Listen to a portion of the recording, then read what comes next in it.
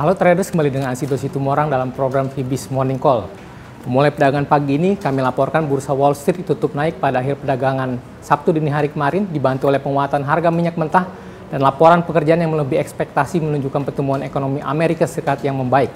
Indeks Dow Jones tutup naik 0,37 persen dengan kenaikan tertinggi saham DuPont. Selama minggu ini, indeks Dow Jones naik 2,2 persen dengan saham Caterpillar sebagai pemain terbaik dan saham Nike pemain terburuk. Sementara indeks S&P 500 tutup naik 0,33 persen dengan sektor material memimpin tujuh sektor yang lebih tinggi.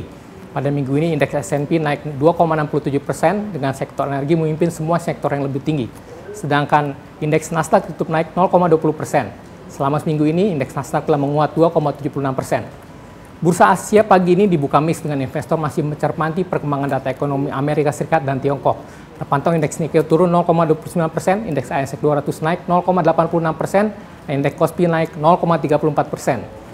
Dari pasar komoditas, harga minyak mentah WTI akhir pekan ditutup naik 3,91 persen pada 35,92 dolar per barel, didukung oleh data pekerjaan Amerika Serikat yang kuat dan turunnya jumlah kilang minyak di Amerika Serikat. Secara mingguan, harga minyak naik sekitar 9% pada pekan ini.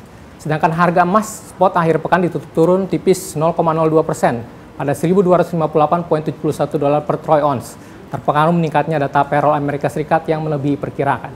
Secara mingguan harga emas masih menguat sekitar 3%.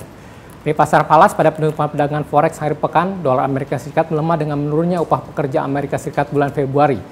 Euro terhadap US dollar naik 0,44% pada 1.1004 Posisi US dollar naik 0,38 persen pada 1.4228, sedangkan US dollar terhadap yen Jepang naik 0,06 persen pada 113.73. Dari pasar modal Indonesia, indeks harga saham gabungan pada penutupan akhir pekan kemarin ditutup naik 0,14 persen pada 4.850.88. Penguatan ISG didukung oleh lanjutan aksi beli saham investor asing yang dipicu oleh penguatan rupiah dan optimisme ekonomi Indonesia.